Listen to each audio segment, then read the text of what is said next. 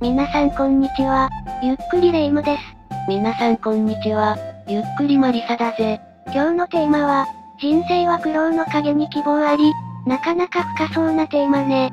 そうだな。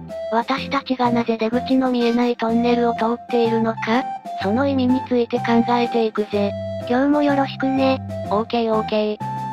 皆さんゆっくりしていってね。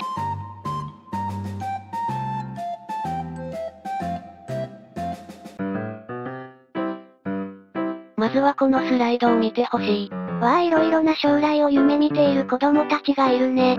そうだな。夢は描き放題。自由に発想していいんだぜ。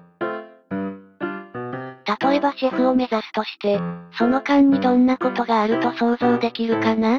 そうね修行して、失敗もして、いろいろ勉強しないと、シェフにはなれないわよねそうだな。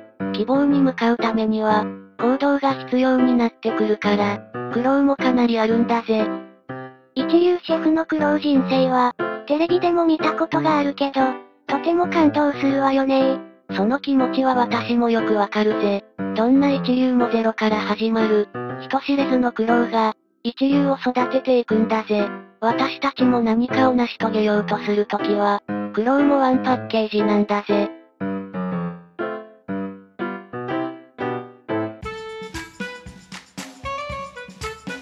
苦労続きの人生と、出口が見えず落ち込んだり、時々嘆いたり弱音を吐いたりしちゃいます。人間だもの。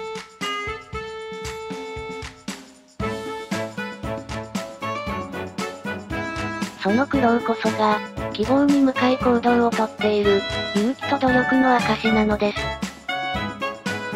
あなたはとても素晴らしい。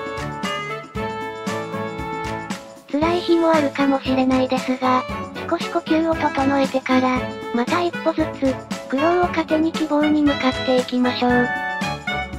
夢を夢のままで、終わらせてしまわないために。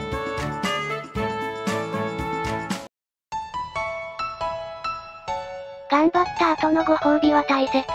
ということで、今日もウプ主大好きローソンさんの、ジョブチューンで全員合格、ワッフルコーンのご紹介。コク、口どけ、味わいのバランスが良く、コンビニソフトクリーム界の三冠王やー、と、わけのわからないことをウプ主は言っていたぜ。ウプ主は元旦に放送を見て、感動してしまい、感動のあまり、その日のうちに二つも食べたそうよ。皆さんもぜひ試してみてください。皆さん今日も最後まで、ご視聴ありがとうございました。もしよかったら、チャンネル登録、高評価、コメント、いただけますと大変励みになります。よろしくお願いいたします。それでは皆さん、また別の動画でお会いしましょう。まったねー。